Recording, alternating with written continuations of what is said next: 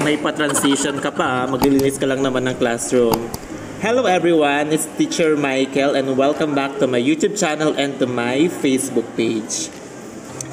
Ayan, so isang one take na voiceover na naman tayo. Andito ako ngayon sa classroom. Ayan, kasama ko si Ma'am Shamain. And ito yung video ko kahapon habang naglilinis ng classroom. Ayan, so unang ginawa ko is nilagay ko lang sa upuan yung mga modules ng aking katamper.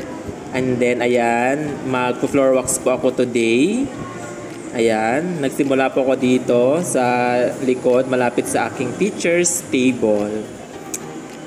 And then, kasi sobrang alikabok na po sa aming classroom. Iba na po yung kulay ng aming sahig, kaya kailangan na po mag-floor wax. Ayan. Buti na lang meron po akong mga natirang floor wax from last school year. Yun po yung aking ginamit. Ayan. So, change outfit po tayo kanina. Kailangan naka-dry fit po para comfortable po na mag ayan na mag floor wax. Ayan. Sobrang bliss ko, 'di ba? Kasi po naka time lapse po ako. Ayan, sobrang hirap mag voice over ng ano ah, ng one take lang.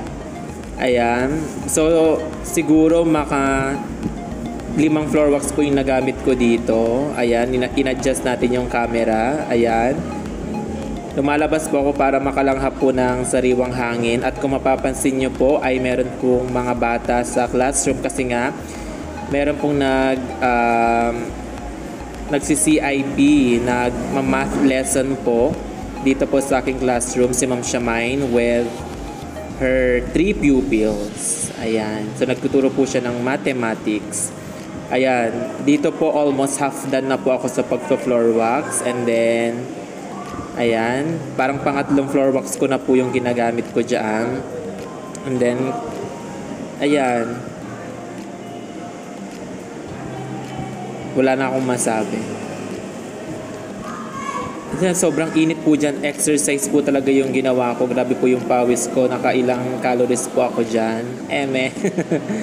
Ayan. So, ayan, malapit na ako sa camera. So, ibig sabihin, half done na po ako. And then, walis-walis muna. And then, adjust-adjust ng camera. Ayan, nahulog po yung aking camera at muntik na rin po akong matumba just to save my cellphone. Ayan, so lagay ng floor wax, and then punas-punas. Ayan, adjust-adjust ng camera. Ayan po yung mga pupils ni Ma'am Shamain sa CIP po. Ayan, mathematics po ulit yung kanyang itinuturo.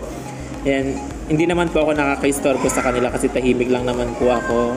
Ayan, and then, tinanggal ko pa, iti, ah, inalis ko po yung mga IMs po ng aking katamper kasi nga dun sa pinagpwestuhan niya ay may tulo na rin po doon. Later on, at the end of the video, makikita niyo po kung anong nangyari.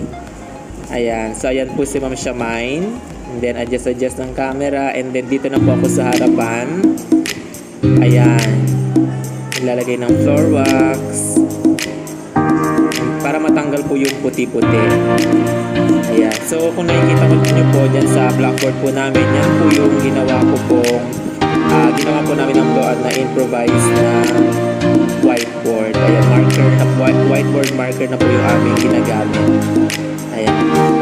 Kung mapapansin nyo, wala na po yung pupils, di lang siya kain kasi uwian na po. Kaya, itinuloy ko na po ang pag ah, floor wax. Pero nagpahinga po ako ng matagal dyan kasi nag-lunch pa po kami ni Ma'am Shamain. Then saka ko na lang po itinuloy yung pag-floor wax.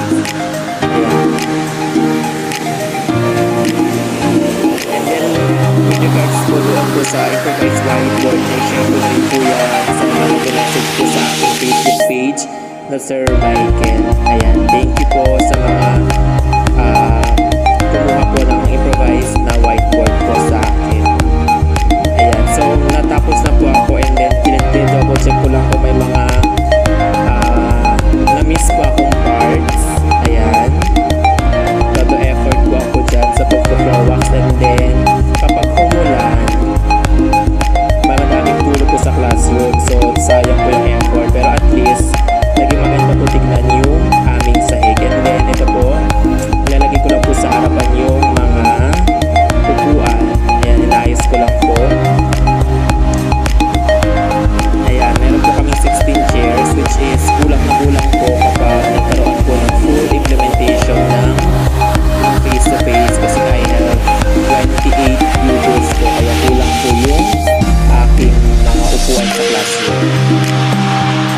Then dito naman, nagwawalis lang po ako dito sa labas.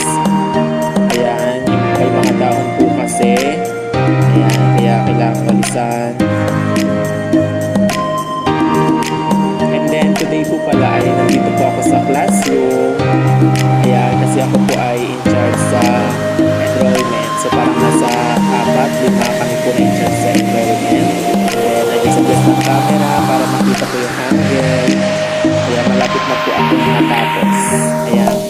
Thank you so much for watching. Don't forget po na mag-subscribe po sa aking YouTube channel. And then, ito na po yung mapapanood nyo sa ending. And then, this happened. Ayan guys, umuwalan na naman. Ayan.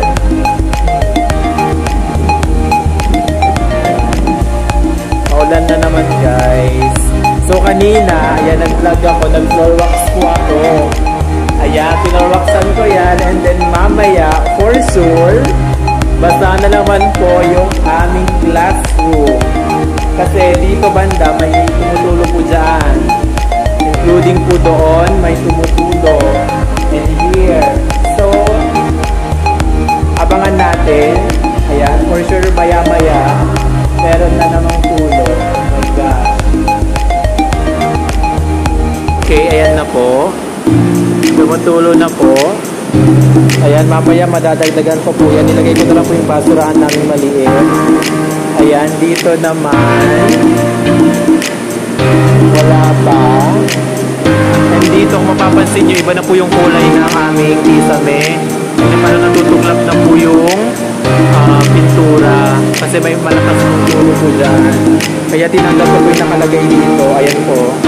Ayan yung mga IM, tinanggal ko po para hindi po siya makasa. Ayan. Later on dito, kung mapapansin nyo, yung discoloration po dyan ay dahil meron tumutulog pong tubig. Ayan. Ito na siya. And then dito rin, meron din po yan. Malapit pa naman po sa wifi. Yes.